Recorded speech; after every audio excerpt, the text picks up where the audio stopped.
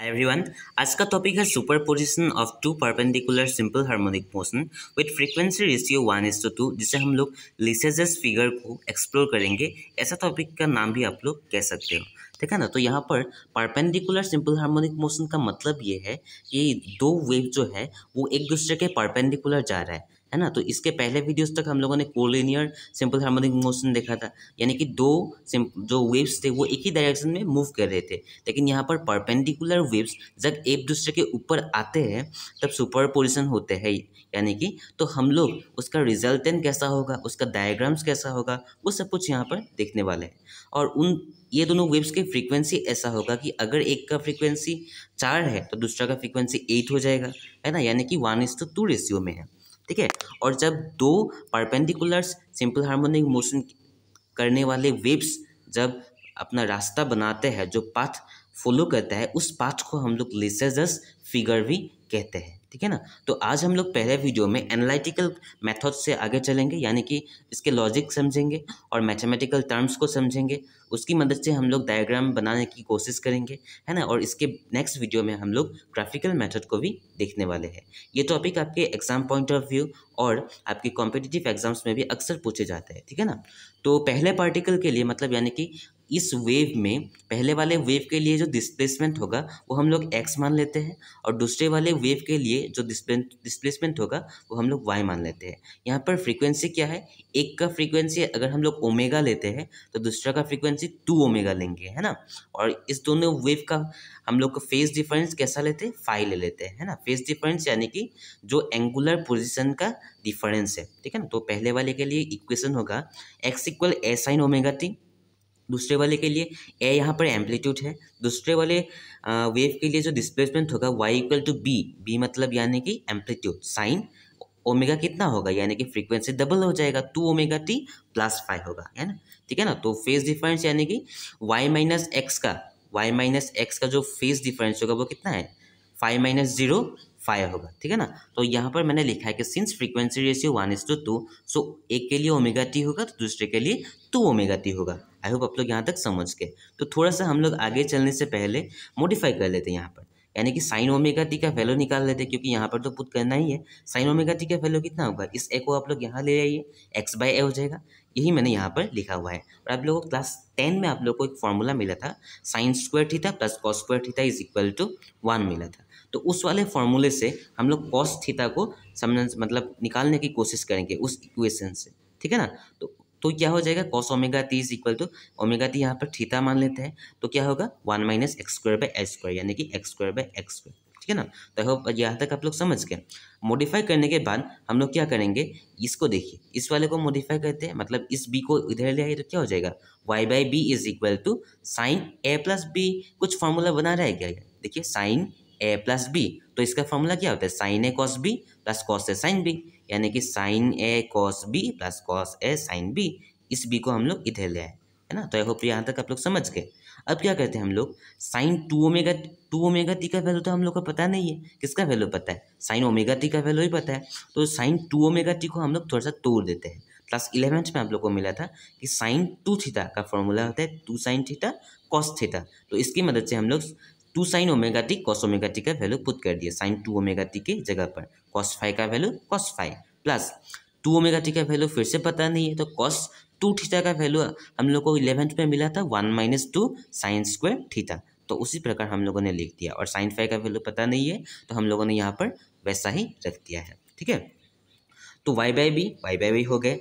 To sine theta में, यानी कि साइन ओमेगा टी का वैल्यू पता है? यहाँ पर एक्स बाय ए है। एक्स बाय ए पुट कर दिया। कॉस ओमेगा टी का वैल्यू भी पता है। यहाँ से पुट कर दिया। कॉस फाइव का वैल्यू कॉस फाइव प्लस का plus one minus two sine square two sine square omega T यानी कि इसका square X square by A square two X square by A square sine five का value sine five है ना? Sign five का value हम लोग को नहीं पता है। यहाँ से हम लोग क्या करेंगे? ये जो टर्म था, यानी कि ये जो टर्म था, इस वाले टर्म को हम लोग पूरा का पूरा क्वेश्चन से इस साइड लिया, यानी कि इक्वल के इस तरफ़ लिया तो क्या हो जाएगा? ये प्लस था, उधर आएँगे तो माइनस हो जाएगा। Y by B minus one minus two X square by square sine five ठीक है ना? तो इस वाले टर्म को इधर ही हम लोगों ने रख दिया है। अब क्या करते हैं? ये रूट ओवर इसको हटा देते हैं। रूट ओवर को हटाने के लिए क्या करना पड़ेगा? स्क्वायर करना पड़ेगा। अगर हम लोग एक साइड में स्क्वायर करेंगे, दूसरे साइड में भी स्क्वायर करना पड़ेगा तो हम लोगों ने दोनों साइड में स्क्वायर करेंगे, ठीक है ना? जब दोनों साइड को स्क्वायर करेंगे, तब कुछ इस प्रकार से हम लोग के पास इक्वेशन आते हैं। जब हम लोग क्या करते हैं स्क्वायर करते हैं, इस प्रकार से हम लोग के पास आते हैं। तो यहाँ पर जो रूट ओवर था, ये गायब हो गए और यहाँ पर स्क्वायर आ गए, ठीक है ना? तो कॉस स्क्वायर फाइव हो गया। टू एक्स बाई ए था तो four X square by A square बन गया यहाँ पर, ठीक है? तो इसको थोड़ा सा तोड़ देते हैं हम लोग, क्या हो जाएगा?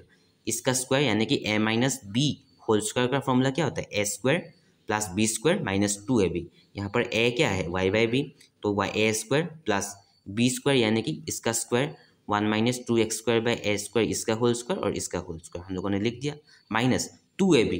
Two हम लोगों ने पुट कर लिया। ए क्या था? वाई बाई बी था। और ये बी की बी ए क्या था? Y by B. और बी का वैल्यू क्या है? ये। तो हम लोगों ने यहाँ पर पुट कर दिया है। है ना? और साथ में आ, इस कॉस स्क्वायर फाइव को हम लोगों ने इसके साथ मल्टीप्लाई कर दिया। तो क्या होगा? Four X square A square cos square five अगर वन के साथ मल्टीप्लाई होगा तो ये आएगा। है ना? तो माइनस माइनस और साथ में ये और ये साथ में ये X square S square X square square कितना होगा? X to the power four A to the power four साथ में four cos square five four cos square five I hope आप लोग यहाँ तक समझ गए, है ना? तो Y square by B square plus हम लोग थोड़ा सा यहाँ पर क्या करेंगे? मॉडिफाई करेंगे, यानी कि तोड़ देंगे चीज़ों को, है ना? सिंप्लीफाई करने के लिए। इसका, इसको जब हम लोग तोड़ेंगे तो क्या होगा? A minus B whole square form formula होगा। A square plus B square minus two A B है ना? तो इसको हम लोगों ने ऐसा तोड़ दिया और बाहर क्या था? साइन स्क्वायर फाइव था। तो ये हो गया माइनस माइनस यहाँ पर। तो ये टर्म अंदर हम लोगों ने घुसा दिया तो क्या होगा? टू वाई साइन फाइव है B two Y sine five है B minus minus plus two into two four Y by B Y by B साथ में क्या होगा? X square by square X square by S square यहाँ पर और sine five sine five is equal to यहाँ पर जैसा है वैसा ही हम लोगों ने पुट कर दिया है। ठीक है? तो Y square by B square plus ये साइन स्क्वायर फाइव अंदर डाल दिया हम लोगों ने। ये इंटू हो रखा था ना तो हम लोगों ने अंदर डाल दिया। Sine square five plus four x to the power four divided by a to the power four sine square five minus four x square divided by a square साथ में साइन स्क्वायर फाइव ठीक है? तो minus minus बाकी सारे terms को as it is हम लोगों ने रखा है यहाँ पर। ठीक है? तो आई होप आप लोग समझ पा रहे हैं चीज़ों को, है ना? तो यहाँ पर हम लोग कुछ टर्म्स को एक ही साइड में ले आए। कुछ टर्म्स को एक ही साइड में ले आए ताकि हम लोग इसे फर्दर सिंप्लिसिटी के लिए कर सके। जैसा कि two y by b sine five ये तो पहले से ही था। Two y by b sine five यहाँ से जो था, ये हम लोगों ने इधर ले आए, साइड में sine square five sine square five एक ही साथ में कर दिया, क्योंकि ये एक कुछ बना रहा है, ये क्या बना रहा है, ये बना रहा है, एक ऑपरेटर बना रहे a minus b whole square का फॉर्मूला बना रहे तो इसलिए हम लोगों ने यहाँ पर एक ही साथ में इन चारों को रख, तीनों को एक्चुअली रख दिया है है ना? तो बाकी सारों को भी हम लोगों ने ऐसा रख दिया है। Four x to divide four by a to divide four ये भी था और ये भी था, ये जब इधर आएँगे तो प्लस हो जाएगा ना? तो इन दोनों को हम लोगों ने कॉमन ले लिया, बचा क्या? Sine square five plus cos square five I hope आप लोग यहाँ तक समझ गए, है ना? तो अब क्या करते हैं हम लोग? Sine square five plus cos square five तो हो गए। अब बचा क्या हम लोग के पास? Four x square a square b y sine five ये कहाँ से था? ये ये था आप लोग का, है ना? तो ये जैसा है, वैसा ही हम लोगों ने रख दिया, है ना? और हम लोग के पास क्या था? Four x square by a square sine square five ये हम लोगों ने जैसा था, वैसा रख दिया। और साथ में ये बचा था तो ये हम लोगों ने उधर ले आए।